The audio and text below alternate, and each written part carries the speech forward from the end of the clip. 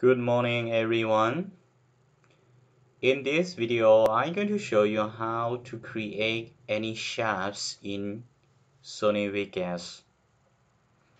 So now I already opened my Vegas Pro 17 and I have a picture as my background picture. So next, we're going to create any shapes together. So let's click on your media generator click on that and from all click on the plus icon and choose solid color choose solid color. So you will see there are many different color like a white black red green and blue. But I choose white. You can choose any color that you like. Close that now click on event pan or crop. Click on that. And now you see mask. Click on mask or we say enable mask. And right now there are many different tools.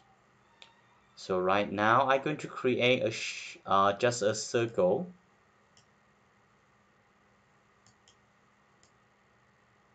Yes, like that and I move. And you can also revert like this I mean yes. And you can also blur like this yeah.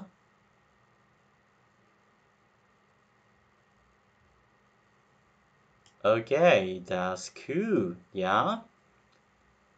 If you want to delay right click on the end delete all. So next I'm going to create an arrow. Click on that. Yeah choose choose what I did. Okay just follow my mouse. Follow my mouse sorry. I know I have poor English. Sorry for that. So now I want to create an arrow. Just use your mouse yeah use your mouse to click like this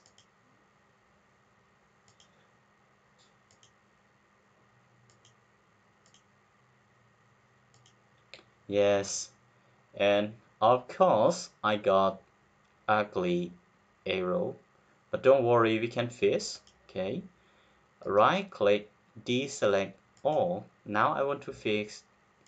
Click on the point that you want to fix. Okay, just click and drag to anywhere that you want your arrow to be. So right now I want to move okay I want to move right click select all. So now you can move to any point that you want okay. Or you can also rotate rotate your arrow like that okay. And I can also animate my arrow. Just set the keyframe okay I said right there. Um sorry. I want to hide my arrow first like that and I set the keyframe. Add the keyframe and now I set to that and I move the arrow like that very fast. Now let's play let's play Oh, yeah, like that. So you can also change. You can also change. Change the direction. Okay. I delay the keyframe. And I want to go faster and I change the direction. Sorry. Okay. I want to go faster and I change the direction. Like that. Okay, let's play. Yes. Or you can also rotate, yeah. You can rotate. Um, I delay the keyframe. I don't want this keyframe, so I delay. I delay, sorry. So I I rotate like this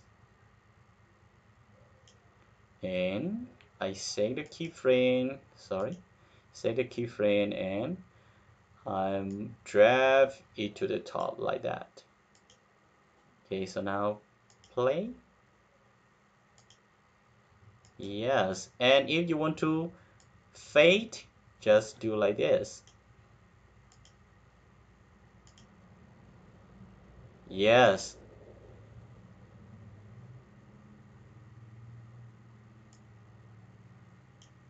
it's also fun to play yeah?